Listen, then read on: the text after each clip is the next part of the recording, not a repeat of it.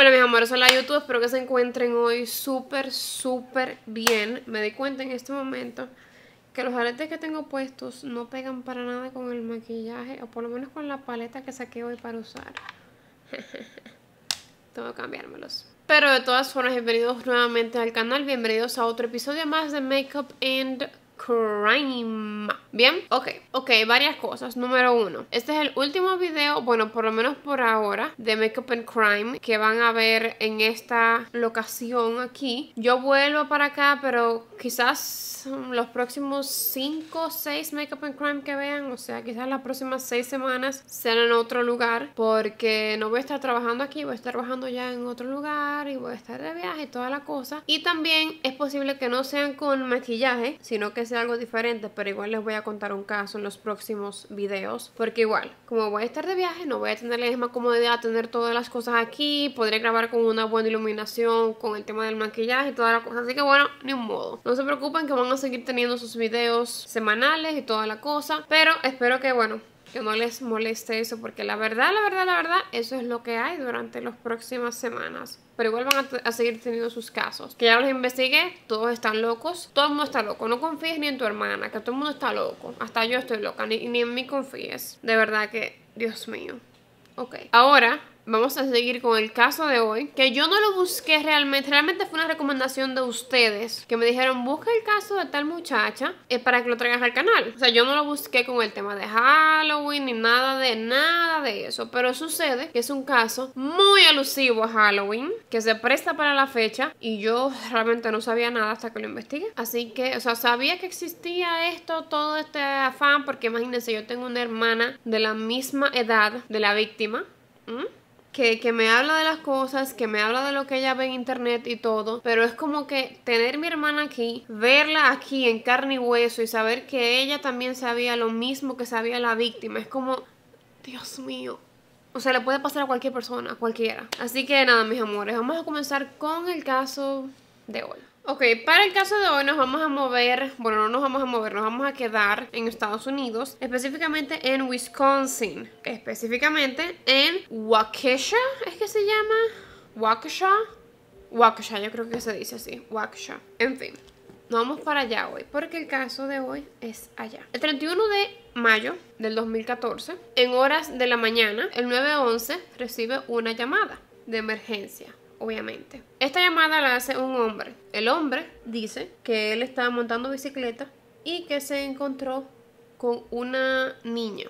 Una niña que al parecer había sido apuñalada varias veces. La persona que lo está atendiendo en la llamada 911 le pregunta que o sea, cómo es esto de que o sea, ¿qué fue lo que dijiste? Porque es como que niña y apuñalada como que no van juntos sí, que está apuñalada, yo estoy en tal y tal lugar, yo estaba montando bicicleta me encontré con ella, ella estaba arrastrándose en el piso, todavía sigue viva, pero me dice que tiene problemas para respirar y puedo ver la sangre, etcétera, en fin. Obviamente mandan una ambulancia y todo eh, a rescatar a la niña. Esta persona, el ciclista, se queda con ella ahí, le, le brinda agua, por si acaso tiene sed. Él no sabía qué hacer porque es una niña que se veía bastante pequeña. O sea, no era una bebé, era una niña casi adolescente, pero se veía sumamente joven y que le dice estoy apuñalada, pero el hombre no sabe ni siquiera cómo, o sea, él ve la sangre porque tenía como esta parte de aquí llena de sangre, pero arriba de eso tenía como un abrigo. Entonces no se veía exactamente dónde era, o dónde era que estaban las heridas. Cuando llega la ambulancia, la policía y todo, el hombre les dice que él estaba montando bicicleta como todos los días pero que ese día, por obra y gracia del Espíritu Santo, él decidió tomar una ruta diferente que él nunca había tomado montando bicicleta. Que de hecho esa ruta estaba cerrada con cadenas porque al parecer era un área privada que estaba prohibido entrar, pero él ese día decidió cruzar su bicicleta y pasar, o sea, como que montar su bicicleta por ese sendero que estaba cerrado, ¿ok? Y él encuentra esta niña que está arrastrándose en la, en la tierra, porque era como por bosques y cosas así, arrastrándose en la tierra y la niña le vocea y le grita, por favor, tú puedes ayudarme, me han apuñalado múltiples veces. Él se para, llama al 911 y bueno, todo lo que ustedes escucharon ya anteriormente. Obviamente es un milagro que ese hombre estuviera ahí ese día, porque él nunca pasa por ahí, de hecho es un área restringida, no se podía estar pasando por ahí, pero él pasó por ahí y encontró a la niña. La niña todavía está consciente, tiene problemas para respirar, igual, pero la niña dice rápidamente, claro y duro, que su nombre es Peyton Lutner, que ella tiene 12 años y que a ella la apuñaló su amiga Morgan. Lo dice todo así rapidito, una cosa tras de la otra. La niña estaba apuñalada, sangrando y tiene dificultad para respirar, pero dijo todo eso y seguía viva. Ok, la llevan al hospital, la van a operar de emergencia porque ya había perdido muchísima sangre ya. Entonces, obviamente, ella le informa, ella le informa a la policía que está ahí preguntándole. La policía está concentrada en preguntarle cosas a ella por si acaso ella no sobrevive la operación, porque la verdad es que había perdido mucha, mucha sangre y tenía mucha dificultad para respirar la niña. Entonces, estaba concentrada en preguntarle cosas para poder resolver el caso en caso de que ella muriera en la operación. Ella pregunta por sus padres, quiénes son sus padres, que dónde, si, sabe, si se sabe la dirección de su casa, la niña se la da, perfecto. La policía va a avisarle a sus padres de una vez, van, eso fue un sábado, ¿ok? Un sábado en la mañana. Van a la casa, le tocan la puerta y le dicen, eh, aquí es que vive Peyton Lutner, ella la madre, que es quien le abre, que ella estaba sola en ese momento porque su esposo, el padre de la niña, estaba trabajando esa mañana de sábado. Le dice, tú eres la madre, así, ok, tenemos que llevarte al hospital porque tu hija ha sido apuñalada.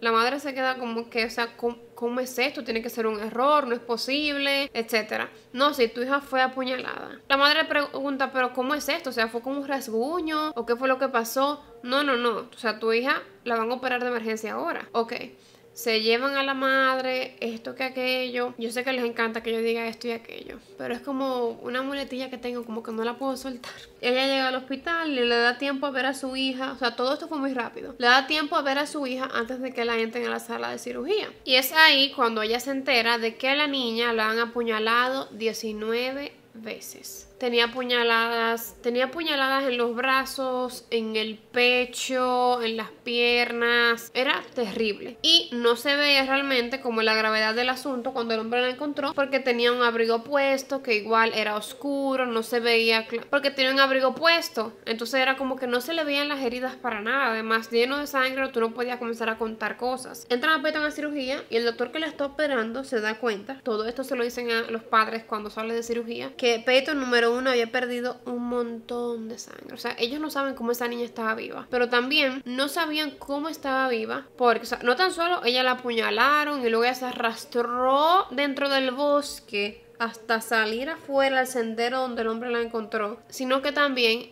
la habían apuñalado en el pecho y estaba a distancia de un cabello. O sea, ¿ustedes saben lo que es un cabello? Una hebra de cabello, así, así, a distancia de una hebra de cabello de que le penetrara el corazón la puñalada. Niña está ida por un milagro. Ella queda viva. Ella queda viva. Los, los, médicos logran salvarla, que igual otro milagro. En fin, obviamente comienzan a buscar a Morgan. Pero Peyton, antes de la sala de cirugía, dijo que Morgan la había apuñalado y que también andaba con su amiga Anissa. ¿Ok?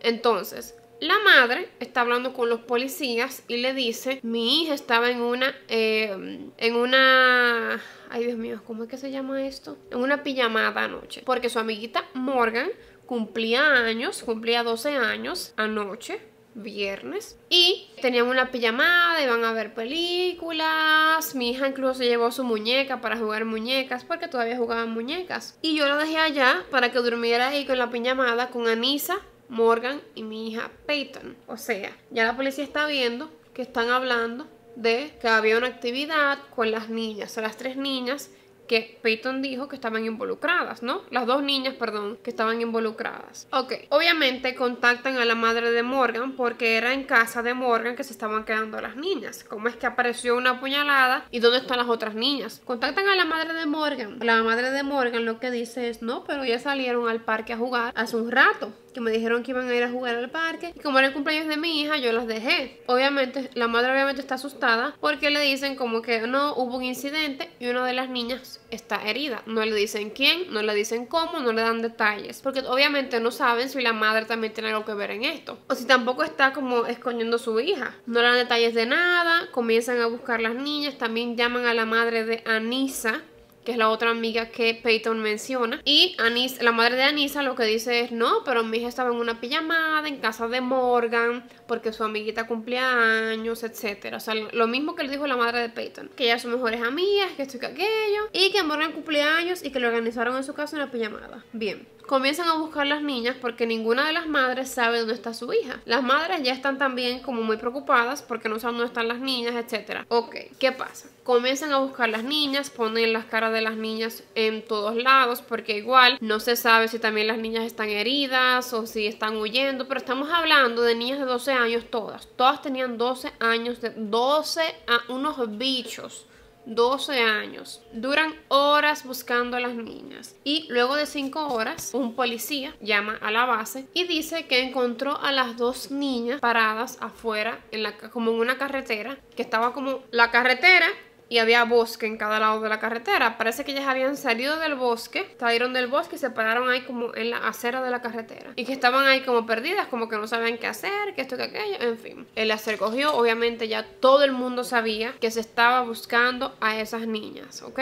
Las llevan a la comisaría para interrogarlas a cada una. En Wisconsin hay una ley que permite que a los menores de edad, a los jóvenes, después de 10 años, pueden ser interrogados sin la presencia de sus padres allí. Eso no es en todos los estados Estados Unidos, pero en Wisconsin sí se permite. Pues entonces se llevan a las niñas y todo esto, todas estas cintas la pueden encontrar en YouTube, las cintas de la interrogación de cada una de ellas, para que comprendan lo que yo les voy a contar a continuación, porque es una cosa de locos, de locos totales. Obviamente, le informan a los padres que encontraron a las niñas y también les dicen que la van a interrogar. Obviamente, ellos no tienen que estar ahí adentro para poder interrogarlas. Además de que siempre va a ser mejor interrogar a un niño o un joven en ese caso, no un niño, porque no eran niñas per se, eran jovencitas que saben lo que, que estaban conscientes, o por lo menos ellos creían que estaban conscientes. Siempre es mejor interrogarlos sin una figura que para ellos signifique seguridad, porque así solamente hablan lo que les viene a la mente, no tienen el miedo de que, bueno, mi papá está aquí, si se entera lo que hice, si digo lo que hice delante de mi papá, bla, bla, bla. Además de que los padres siempre van a estar tratando de proteger a su hijo, de que no digas mucho, de que no hables más, de que no te incrimines más, etc. Así que la ponen a cada una de ellas, a Morgan en un una, en una sala de interrogación y a Anisa en otra sala de interrogación, ¿ok? Bien. Tenemos que entender que todo esto está pasando en el mismo día, no fue un día después, no que tres semanas, no, no, el mismo día, ¿ok? O sea, Quiere decir que Peyton, ¿qué está haciendo? Y está recuperándose de la cirugía y todo eso. O sea que la policía no sabe absolutamente nada. Solamente sabe que Morgan apuñaló a Peyton y que también andaban con su amiga Anissa. Más nada. ¿Ok? Entonces, ellos comienzan la interrogación, tienen a cada uno en cada lugar. Yo les voy a contar primero la interrogación de Anissa, ¿ok? Y luego les voy a contar la de Morgan. Bien, y luego les voy a contar qué era lo que pensaba que estaba pasando. O sea, qué era lo que Peyton pensaba que era que estaba pasando en ese momento, ¿ok? Bien, comencemos. Comienzan a interrogar a Anisa. Eh, le toman unas fotos, las fotos del lugar, de cuando la arrestaron y todo. O sea, tenían a las niñas incluso con, con esposas y toda la cosa. Le toman las fotos del lugar. Yo les voy a poner por aquí esas fotos para que vean cómo era que estaban en ese preciso momento. Le preguntan eh, que si ella está herida. No, ella no está herida para nada, pero que si tiene eh, restos de sangre, como en la blusa, cosas así. Luego le hacen esa foto de los restos de sangre que tenía, etcétera. Bien, la eh, policía era una mujer que estaba interrogando a Anisa, le dice, mira, yo no sé absolutamente nada de lo que pasó, así que yo necesito que tú me cuentes todo y cómo fue que ustedes llegaron hasta allí, ¿ok?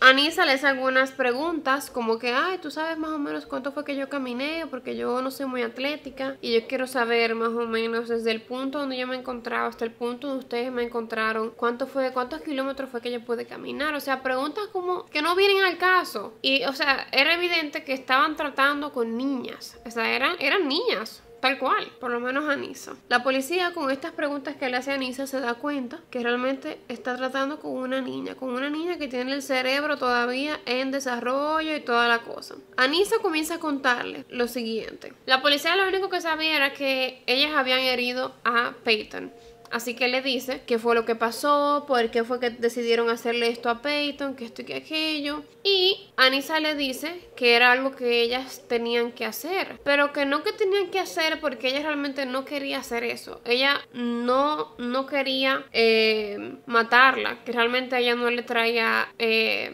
placer eso para nada, pero que tenían miedo de lo que quizás pasara si no, si no lo hacían, si no la mataban. La policía se queda como que, como, o sea, por lo que tú me estás diciendo es como si fuera una amenaza, como que tú tienes, como que si tú no matabas a Peyton, a ti te iba a pasar algo. Ok, ella comienza a contarles que ellos tenían, ella, o sea, Morgan, si oyen el vidrio, es que se, aquí hay una brisa horrible. No puedo dejar de grabar. Ella comienza a contar que Morgan y ella tenían planeando eso ya un tiempo. Tenían planeando todo eso un tiempo, de que tenían que matar a alguien y que la persona más fácil de matarla, ellas decidieron que iba a ser Peyton, porque era una persona que confiaba en ellas y que no iba como a cuestionar de que vamos a jugar en el bosque, que todo esto, ¿no? Ella comienza a contar que ellas tenían que matar a Peyton porque si no, Slenderman las iba a matar a ellas. Slenderman. Yo les voy a escribir esa palabra aquí para que entiendan. Esta cual se menciona, Slenderman. La policía se queda como que, ¿de qué tú me estás hablando? O sea, ¿quién es Slenderman? ¿De qué tú me estás hablando? Pues ahí Anisa comienza a explicarle que un día, hace unos meses, ellas estaban buscando en un website que se llama Creepypasta Wiki no, pero se va a caer el cielo hoy. Bueno, que el website se llama Creepypasta Wiki y que ahí encontraron una historia sobre Slender Man, que era una historia que hablaba de un ser mitológico. Yo no me estoy riendo por lo que pasó. Es que yo no me puedo creer Luego yo les contaré por qué es que yo mencioné a mi hermana al principio del video. Que es un ser mitológico, que es un hombre largo, yo les voy a poner la foto por aquí, que es un hombre largo, con las manos largas y blancas, que siempre está usando un traje negro, que tiene el rostro blanco, pero que no tiene ninguna expresión facial, no tiene ojos, no tiene boca, no tiene ceja, nariz, nada. Solamente es como una cosa blanca que arriba que pareciera una cabeza. Más nada y que de atrás de su espalda salen tentáculos que él utiliza para ahorcar a sus víctimas. La policía se queda como que, oh, ok, entonces, em, más o menos, ¿cómo tú te enteraste de Slenderman? O sea, ¿cómo es esto? ¿De dónde sale? No, que había una publicación que habla de su origen, que hay fotografías que lo muestran, que de hecho la primera vez que él fue fotografiado fue en un parque que estaba lleno de niños y él se ve en el fondo de la imagen y toda la cosa y que justamente ese día desaparecieron 14 niños de la nada. Y fue porque Slenderman se llevó a esos niños para matarlos con los tentáculos, los ahorcó a todos. Porque Slenderman tiene preferencia con los niños. Él casi nunca mata a personas grandes, adultos. No, no. Son casi siempre niños, como de mi edad o más pequeños. Recordemos la parte donde ella habla de que, o sea, estamos hablando de un ser, un ser con tentáculos atrás de la espalda, que le salen cuando él quiere, pero que él los puede guardar en un segundo y desaparecer. La policía le pregunta, ok, pero ¿qué tiene eso que ver contigo? ¿Cómo es que tú sabías que si no Slenderman te iba a matar a ti, si tú no matabas a alguien, o sea, ¿cómo es esto? ¿Él te obliga? ¿Cómo es? No, no, no, lo que pasa es que estamos en el bus del colegio un día y yo miré hacia afuera, como en el bus que los llevo y las traes, y, los, trae los niños a sus casas, yo miré hacia afuera y me di cuenta que allí estaba Slenderman parado mirándome. Y ya yo había buscado esa información con, con Morgan, yo he buscado todo eso con Morgan ya y las dos sabíamos que eso era Slenderman diciéndonos que venía por nosotras ya. Aunque todo esto lo vio Anisa, no Morgan, ¿ok? Bien. Que ya sabíamos que venía y yo lo pude ver con, con su cara blanca que no tenía ningún, ninguna expresión ni nada. Él estaba ahí un momento y al otro momento desapareció. Yo no me quiero imaginar realmente cómo estaba sintiendo la policía, porque ella tiene que estar pensando que la niña de verdad estaba como drogada o algo, porque cómo es esto? ¿Qué es lo que tú me estás diciendo? Bien, Ella la sigue interrogando, Anissa sigue hablando de por qué ellos idearon el plan y les dice, nosotros entendimos que, o sea, la única opción para que Slenderman no te mate es que tú te conviertas en un proxy de Slenderman, ¿ok? Yo les voy a contar luego la verdadera historia de Slenderman, pero yo quiero que ustedes entiendan todo lo que la niña tenía en la cabeza de este personaje. Si tú te conviertes en un proxy de Slenderman, entonces ya tú tienes derecho a vivir en su mansión porque él tiene una mansión en el bosque, específicamente en el bosque de Nicoleta, que queda justamente donde ocurrió todo, ¿ok? Pero queda como a la, al otro extremo del estado donde ellas se encontraban. Yo no sé cómo ellas pensaban que ellas iban a llegar caminando, caminando a ese bosque y a encontrar la mansión de Slenderman. Porque para que Slenderman no las matara a ellas, ellas tenían que hacer un sacrificio y matar a una persona de manera que ellas pudieran librarse, no tan solo ellas mismas, sino también a sus familias y a sus amigos, porque Slenderman iba a matar a todo el mundo. Bien, el plan era matar a Peyton irse a la mansión de Slenderman y más nunca ver a su familia porque una vez que tú te entregas a Slenderman en la mansión ya nada te puede tocar, nada malo te puede pasar y ya tú eres como si fuera una seguidora de Slenderman, como parte como de su culto y ya nada malo te puede pasar, ni a ti ni a tu familia. La policía le pregunta, ok, entonces ¿por qué eligieron a Peyton? Ah, porque era una presa fácil, ella confiaba en nosotras y como sea, fue Morgan que dijo que teníamos que matar a Peyton. Yo no estaba muy segura, pero Morgan me dijo que teníamos que matarla a ella. Le dicen, ok, entonces, ¿cuál era el plan? O sea, o sea, ¿cómo fue que terminaron en el bosque? ¿Cómo es todo esto? Porque tenemos entendido que la madre de Morgan les dio permiso de irse a un parque no al bosque donde encontraron a Morgan, a, Peyton, perdón. Bueno, el plan era distinto. Nosotros estábamos ideándolo durante semanas. Durante el colegio utilizábamos eh, palabras eh, secretas para que ella no supiera por ejemplo, para eh, cuchillo utilizábamos tal palabra. Para asesinato utilizábamos tal palabra. O sea que ella nunca se dio cuenta. Además de que en el bus del colegio siempre hay ruido, en el colegio también. Así que hablábamos súper bajito y con palabras como códigos secretos entre nosotras para que nadie entendiera nada del asesinato que estábamos planeando. A los 12 años de edad. Anisa les cuenta que el plan original no era llevarla a un bosque. No, no, no. El plan original era que iban a hacer la pijamada y que a eso de las horas de la madrugada se iban a despertar, iban a degollar a Peyton, iban a tapar la cama con sábanas y todo para que no se notara mucho y se iban a ir a buscar la mansión de Slenderman en el bosque de Nicoleta. Entonces, cuando su madre se diera cuenta, pues ya todo iba a estar hecho y ellas iban a estar seguras en la mansión de Slenderman. Morgan puso en su iPad una alarma que la iba a despertar en su iPad, en su tablet, algo así. Era como un dispositivo eh, así electrónico.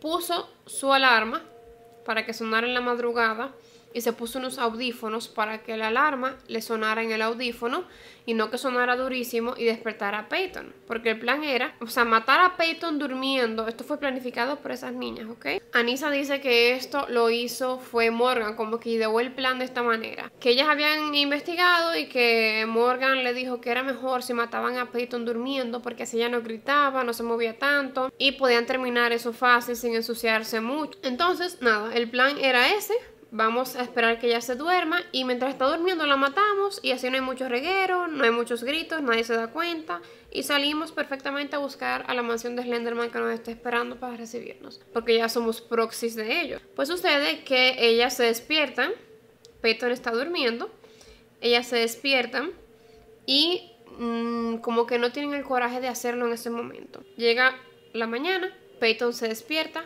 comienzan a jugar y toda la cosa, como a jugar. Estaban incluso jugando como disfrazarse. Y Peyton fue al baño un momento a ponerse con un vestido de princesa rosado, porque estaban jugando los disfraces. Y mientras ella estaba en el baño, Morgan le dice, oye, es mejor si vamos al parque, porque en el parque hay unos baños. Y los baños podemos entrar a Peyton como que sentarla en un, en un inodoro como que estamos jugando algo, la sentamos en el inodoro y justamente en uno de esos baños hay como un drenaje de agua. Si la matamos en ese cubículo de ese baño, O sea, entiendan la mente que está creando todo esto. Si la matamos en ese cubículo de ese baño, entonces toda la sangre se va a drenar por el drenaje, va a bajar por ahí y no va a haber casi reguero. O sea que lo importante aquí era reguero, ¿ok? Tomen, o sea, no va a haber casi reguero. Entonces, Así tenemos como que una escena más limpia, cuando la gente entra al baño no se va a dar cuenta tan rápido, que esto que aquello. Porque el plan era dejarla ahí a Peyton tirada, matarla ahí. Todo esto siempre fue planificado con un cuchillo. Y Anissa le dijo como que, bueno, ok, podemos hacerlo en el baño del parque. Entonces Morgan le dice a su madre que si la dejaba salir al parque. La madre de Morgan nunca la dejaba salir al parque sola ni en ningún lugar sola. Pero como andaban las tres niñas, eh, le dio permiso de ir porque ya no iba a estar sola su hija en el parque. Ok, se dirigen al parque, pero también en el parque como que no se atrevieron a hacerlo ahí, porque entonces Anisa dice que Morgan salió con el cuchillo de la casa y que cuando estaban llegando em, al parque, ella se sube el top que tiene puesto, con, con, el abrigo y todo, se sube esto y le enseña a Anisa que ya tenía metido dentro del pantalón el cuchillo. Que ella cogió el cuchillo de la cocina de su casa, de la cocina de la casa de Morgan, y que se metió el cuchillo ahí adentro. O sea, demasiadas películas han visto, demasiadas. Pues ella se fue con su cuchillo adentro de su pantalón, iba a matar a la amiga. Llegaron, no se atrevieron y decidieron que iban a jugar a las escondidas. Que iban a ir al bosque que quedaba cerca del parque y que iban a jugar las escondidas. Que la primera que iba a buscar iba a ser Morgan. O sea que Peyton y Anissa se tenían que esconder en el bosque. Para este momento ya Morgan y Anissa estaban como que debatiéndose que, que yo no quiero apuñalarla, que yo no quiero hacer esto. O sea, sobre todo Anissa que le estaba diciendo yo no quiero apuñalarla, yo no me atrevo a apuñalarla, yo no quiero hacer nada de esto. Obviamente todo esto lo cuenta Anissa. Y de todas formas ya Peyton dijo antes de entrar a la operación que quien la había apuñalado era Morgan, no Anissa. Ok. Pues entonces ellas se van a esconder y al final Morgan le dice, antes de que ellas se fueran a esconder, le dice, ok, yo la voy a apuñalar, pero tú tienes que decirme cuándo. Comienzan a esconderse y Anissa le dice a Peyton, acuéstate aquí eh, para que ella no te vea cuando salga a buscar. Pues Peyton le hace caso, o sea, son mejores amigas. Peyton le hace caso y ella se acuesta donde le dijo a su amiga que se acostara para que no se encontraran, que esto, que lo otro. Y en ese momento Anissa se sube encima de Peyton. O sea, se sienta en la espalda de Peyton y Peyton le dice como que espérate que no puedo respirar, no puedo respirar, no puedo respirar. Para ese momento Anissa tenía un poco de sobrepeso, ¿ok? Ahí llega Morgan y Anisa le dice, eh, vuélvete loca. Yo le voy a poner por aquí la frase exactamente que él le dijo, pero en inglés le dice go crazy, go ballistic. O sea, como que pierde la cabeza, haz lo que tú quieras, vuélvete loca, como que ya mátala. Pues en ese momento, Morgan coge su cuchillo su pantalón y comienza a apuñalarla una y otra vez. Que en ese momento, Anisa estaba agarrando a Morgan sentada arriba de ella para que no se moviera para poder apuñalarla rápidamente y que ella se murieran y pudieran irse. Por eso es que ella tiene una mancha de sangre en la blusa, en la parte de abajo. Porque obviamente Morgan estaba apuñalándole, apuñalándole, algo le tenía que caer a ella. Annie cuenta que durante todo el ataque Peyton estaba pidiendo que por favor pararan, que esto dolía demasiado, que por qué le estaban haciendo todo esto. Bueno, mil cosas. Al final, ellas les dicen que se quede ahí acostada tranquilita o sea, ellas se paran. Morgan limpia el cuchillo, lo limpia con, su, con el top que tenía puesto y le dice, quédate ahí tranquilita, si oye la construcción, lo siento mucho. Quédate ahí tranquilita que vamos a ir a buscar ayuda. Si tú te quedas acostada y no te mueves, te va a doler menos y vas a perder menos sangre. Así que quédate tranquilita que vamos a ir a buscar ayuda para ti. Y dejaron a su amiga que le habían apuñalado ahí en el bosque y se fueron. Se fueron a buscar la mansión de Slenderman porque ya ellas eran proxies de Slenderman. Bien, cuando ellas la encontraron, cabe destacar que ellas tenían la mochila, cada una, repleta, tenían una mochila cada una y tenían como, como provisiones para tú sobrevivir en el bosque. Tenían barras de granola, tenían de todo. O sea, ellas estaban, ellas iban a sobrevivir con barritas de granola, sí o sí. Con lo que ellas no contaban era con que Peyton no se iba a quedar ahí acostadita en lo que ellas le buscaban ayuda, sino que Peyton iba a comenzar a arrastrarse bastante hasta salir al sendero y poder pedir ayuda a quien sea que ella viera. ¿Ok? No se esperaban eso. Porque la apuñalaron lo suficiente como para que ella se muriera ahí. ¿Ok? Bien. ¿Qué pasa? Anisa había dejado una carta en su casa y todo. Que decía que por favor no la buscara. Una carta como de despedida de que ella se iba. O sea, una locura, una locura. De que ella se iba y que todo iba a estar bien, que esto, que aquello. Bueno, bueno, la cosa está en que, bueno, las encuentran y ahí es que comienza todo. Bueno, ¿qué pasa después de esto? Sucede, la policía oye toda esta declaración y está, imagínense, con la boca abierta porque no entiende, todavía no entiende de qué rayos que están hablando ni nada. Obviamente, también en otra habitación, como yo les conté, están interrogando a Morgan. Morgan, a ver, la actitud de Anisa, ella siempre se mantuvo como preocupada y preguntaba como que me voy a ir a la cárcel, qué es lo que va a pasar, como que se notaba preocupada y atormentada por lo que había pasado y siempre decía como que yo no quería hacer esto, de verdad yo no quería matarla, yo no quería hacer nada de esto, que esto, que lo otro, bien como que yo no quería matarla, como que siempre estaba lamentándose. Y dijo las cosas sin pero, sin nada, dijo, pasó esto y esto y esto y lo otro, y fue de esta manera, y yo hice esto, Morgan hizo lo otro, Peyton dijo esto, como que no había dudas, ¿ok? Pero entonces comienzan a interrogar a Morgan. Durante la grabación se puede ver a Morgan, porque obviamente todas estas interrogaciones son grabadas, o sea, video y audio y todo. Se puede ver a Morgan. Morgan está bailando en la sala de interrogación, dando vueltas, cantando, como si nada. Ella está como que no es con ella la cosa. La comienzan a interrogar, le hacen las fotos del lugar primero. Les voy a poner las fotos de Morgan entonces aquí. Y comienza Morgan a hablar. Lo primero es que le dice, eh, yo me voy a ir a la cárcel, no voy a poder ir a la cárcel y nunca voy a salir de la cárcel por esto que yo hice. Así mismito. O sea, yo me voy para la cárcel, me voy a poder ir ahí adentro. Espérense, que esto se ve muy naranja. Ok, ahora sí. Me voy a poder ir adentro, nunca voy a poder salir por esto que yo hice. Y el, policía que la está interrogando le responde que no sabe porque él todavía no sabe qué, fue lo que ella hizo. Luego le pregunta, ¿y Vela? ¿Cómo está Vela? El policía se queda como que, ¿cómo que Vela? Este era... Eh, Morgan le explica que este era el sobrenombre que le habían puesto a Peyton porque en su clase había otra niña que se llamaba Peyton y para no confundirse de cuál Peyton estaban hablando, entonces a Peyton ellas decidieron ponerles el sobrenombre Bella. Entonces ella le pregunta que si Bella está viva, o sea, ¿qué tipo de preguntas está viniendo de una niña de 12 años? Ella saltó con eso de la nada, de la, de la nada, de la nada, ¿ok? Le pregunta que si Bella está viva. El policía le dice, eh, no, no sé, la llevaron al hospital para hacerle cirugía. Y ella le dice, oh, ok, entonces, eh, no, yo solamente estaba, o sea, ella como que se sorprendió porque dijo, oh Dios mío, la encontraron, porque ella todavía no sabía por qué estaba presa. Ella se quedó como que, oh Dios mío, la encontraron, la encontraron. Y dijo, no, yo solo estaba, estaba preguntando como para saber de ella cómo estaba. O sea, para saber de alguien tú preguntas, hoy fulano está vivo. O tú preguntas, ay, ¿cómo está fulano? No, no, no, está vivo. Ya pueden ir viendo las diferencias entre el interrogatorio de, de Anisa y el de Morgan, ¿ok? Ok.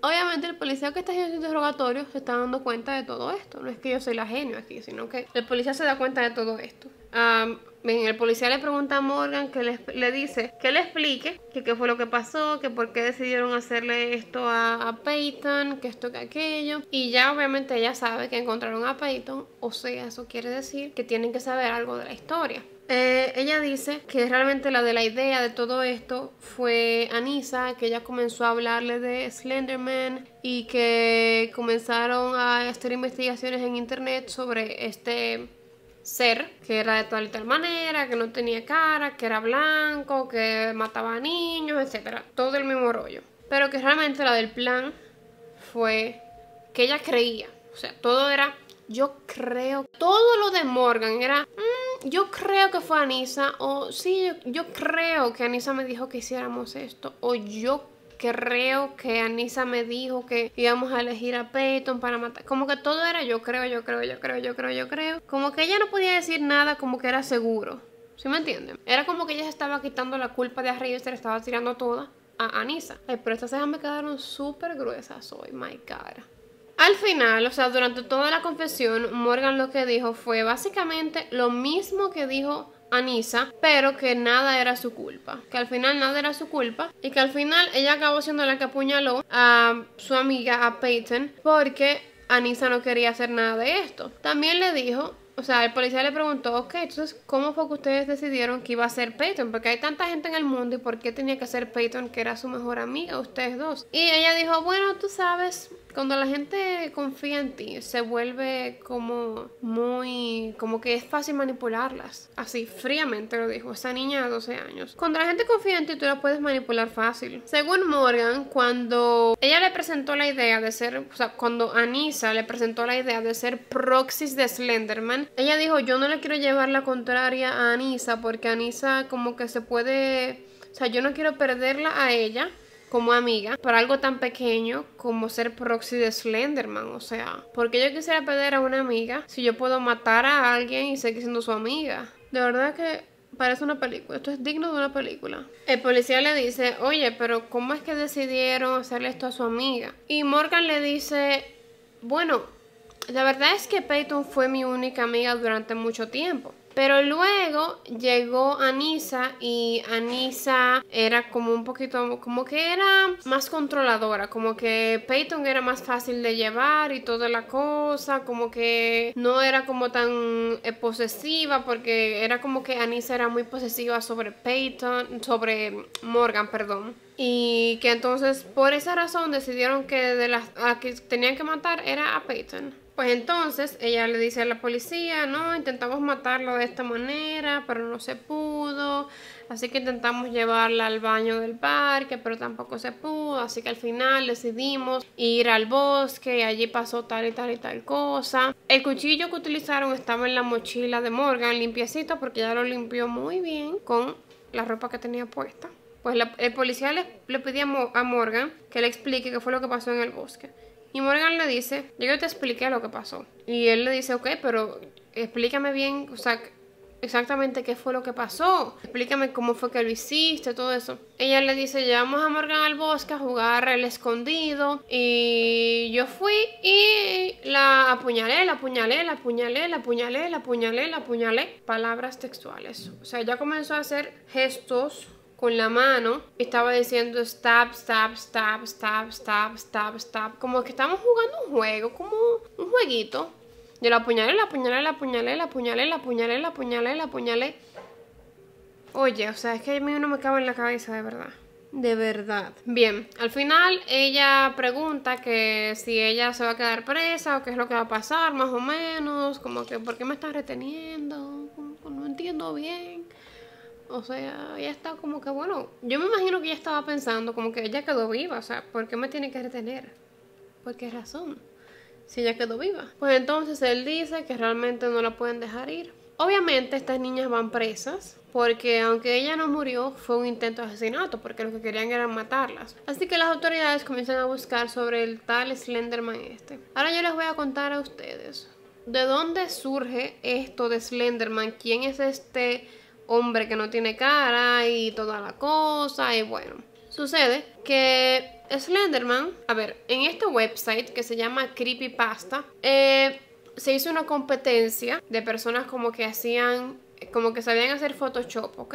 Se hizo una competencia de la persona que pudiera crear el mejor personaje mitológico eh, y que crear una historia creíble, muy muy creíble, eh, por vía del Photoshop, utilizando fotos que fueran reales, imágenes que fueran reales, pero incluyendo este personaje en estas fotos, ¿ok?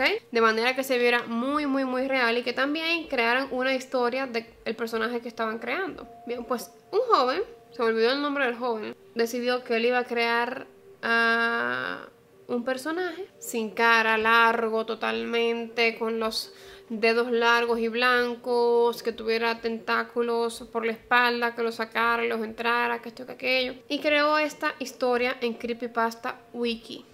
Esa es la página de internet. Entonces él creó esta historia hablando. Él, hizo Photoshop a dos imágenes, ¿ok?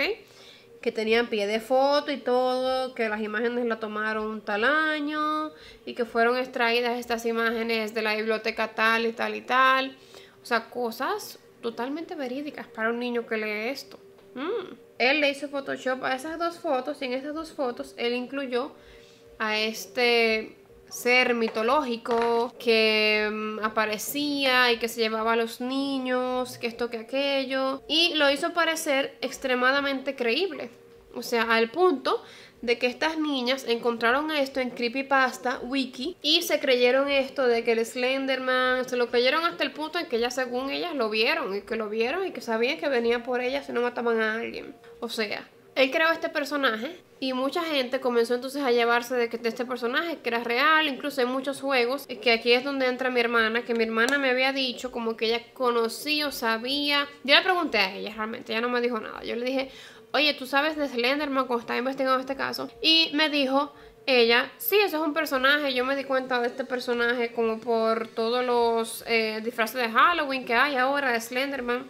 Y yo, ¿y qué más tú sabes de este personaje? Eh, nada, que hay muchos juegos de Slenderman online, que esto, que aquello. Y yo como que, ¿cómo que juegos online? O sea, tú estás jugando juegos de Slenderman. Yo estaba histérica ya. Yo estaba como que, ¿qué es lo que? ¿Por qué estás jugando? No te quiero ver como Slenderman. O sea, yo estaba ya loca. Bien, el punto es que así como mi hermana que tiene 12, esas niñas que tenían 12 en ese momento, también se pusieron a ver todas las las, eh, las experiencias que habían tenido otros niños con Slenderman, porque comenzaban a publicar también Creepypasta eh, Wiki que había gente que tenía experiencias con Slenderman y que lo podían ver y que habían videos en que tú podías ir a buscar Slenderman en el bosque y habían grabaciones en que por lo menos según lo que yo vi online, o sea, todo esto es muy creepy realmente. Según lo que yo vi online, hay uno de los videos en que yo estoy segurita, obviamente, que esto es uno de esos videos en que una persona está grabando sin darse cuenta y que luego grabando rápidamente eh, mueve la cámara y en uno de esos movimientos aparece un hombre largo vestido con un traje negro que no tiene cara, pero aparece como un milisegundo y se quita ya porque mueve la cámara. Y o sea, una cosa, entonces los niños comienzan a creerse todo esto de que mira, yo lo grabé en video, él estaba ahí, tú lo viste, todo esto. Y obviamente un niño con una mente de 12 años que sigue en desarrollo, ¿qué va a creer? Ah, va a creer que también va a comenzar a ver Slenderman aquí, allá, que afuera del autobús del colegio, que esto, que lo otro. Que ya he visto muchas imágenes de Slenderman en vida real. Para lo que, para ese niño en vida real. Eh, obviamente esto no es ilegal lo que este joven hizo de crear ese personaje, porque él creó un personaje ficticio, eso es totalmente legal, no hay problema. Aquí el problema está en que mucha gente comenzó a poner sus experiencias de que realmente Slenderman existía, que tenía experiencias con ellos, y que esto y que lo otro, y que un familiar tal desapareció porque Slenderman lo mató, que más nunca lo encontraron, que un sinnúmero de cosas. Una locura.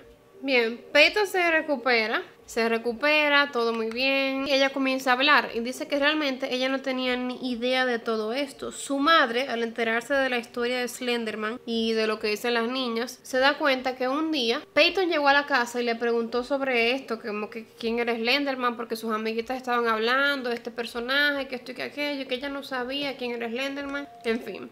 O sea que realmente las niñas, lo que pasó fue, las niñas, o sea, Morgan y Anissa le hablaron a ella de Slenderman. Pero Peyton como que no les creyó mucho este cuento de que un personaje, que toca aquello. Y como ella no sabía nada de esto, las niñas entendieron que ella era una incrédula y que ella no creía en Slenderman. Por eso tenían que matarla a ella, porque tenían que hacerla creer eh, que Slenderman realmente existía. Era como para hacer creer a las personas que no creían. ¿Ok? Porque los proxies de Slenderman realmente matan a otras personas para que vean que realmente Slenderman sí existe.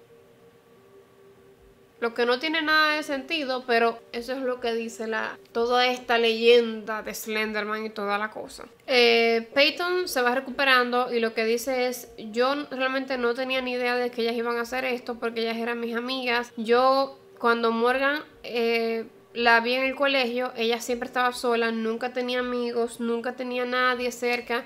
Y yo decidí ser su amiga porque la veía muy sola y que se hicieron amigas por eso, que realmente ella solamente quería que ella no estuviera tan sola y que luego o sea, primero eran amigas Morgan y Peyton, y que luego llegó Anissa, que se había mudado con su familia, eh, y que luego entró al colegio, que también estaba muy sola, así que también ella se hizo amiga de ella. Y Peyton dice que realmente eh, ella siempre notó como que Anissa estaba un poco celosa de que Morgan fuera la mejor amiga de ambas, como que Anissa quería que fuera solamente suya como su amiga, todo. Que ella está consciente de que quien la intentó asesinar fue Morgan, ¿ok?